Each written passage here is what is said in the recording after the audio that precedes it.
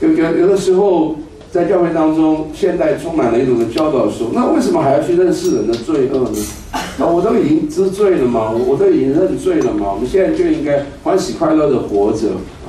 那为什么还要去讲到我们的罪恶呢？因为保罗在这里有一个非常强烈的逻辑，就是你若不认识你自己的罪恶，你就不能够认识上帝的恩典有多大。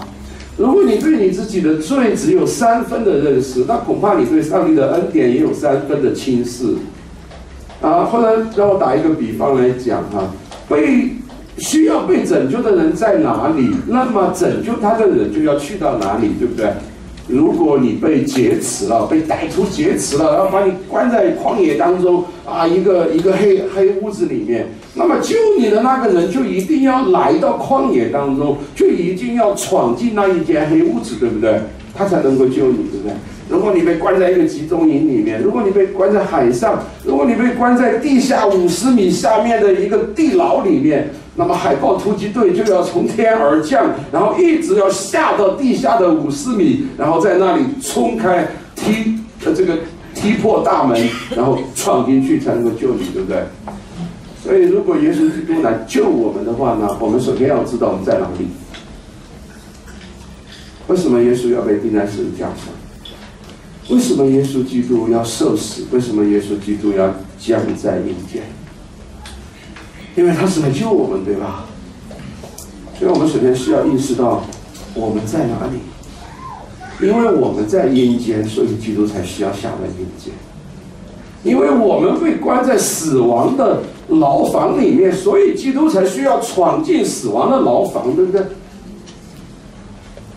所以，如果你不认识你的罪，如果你不认识你的死亡，如果你不认识你的背逆，你本来是在深渊的深坑的深处，那你就不知道耶稣为什么要去那里，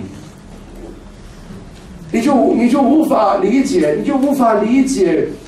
耶稣基督的救恩在你的身上所带来的这个翻转，这个落差有多么的大，就如同保罗在罗马书里面所讲的，罪在哪里显多，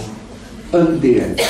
就在哪里显多，所以保罗要带我们来认识我们的罪，不是说哦，你故意再要去犯一点罪，好让恩典显多，而是来认识你原本的罪。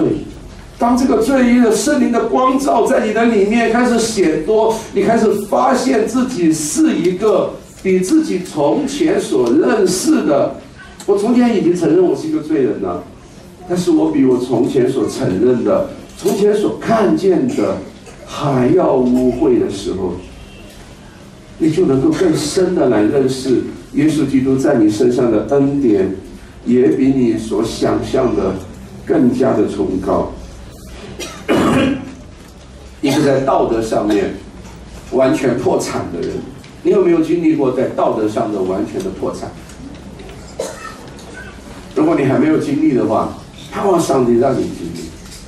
一个在道德上经历了贫穷的人，就好像主耶稣基督说：“虚心的人有福了，对吧？哀痛的人有福。”就是在灵性上，就是在道德上，实在是经历了一个彻底的破产的人，才能够真正的享受到那种纯粹的恩典的满足，才能够经历到一种纯粹的信仰的满足。他的信仰在这个时候。在他的道德上彻底破产的时候，他才不带着任何的优越感去生活，他才会不带着任何的功利心去信仰，因为信仰或者恩典本身已经是他最大的满足，他不需要透过这个信仰再去获得些什么。因为那本身就是他最大的满足，而且这样的人，有的时候我们读到一些呃属灵的伟人的传记啊，很多人都常常会这样子讲，对一个来批评自己的人，他说：“哦，其实我说的，其实我本来比你说的更糟糕。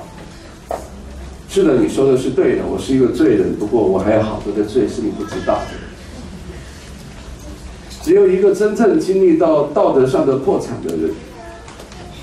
才会真诚的，不带着任何的优越感和功利心的，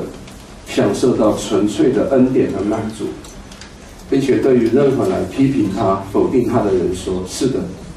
但其实我比你说的更加的糟糕，我比你所了解的更加的无能。我生命当中还有许多的糟糕的、罪恶的事情，是远远是你所不知道。”唯有我的神知道。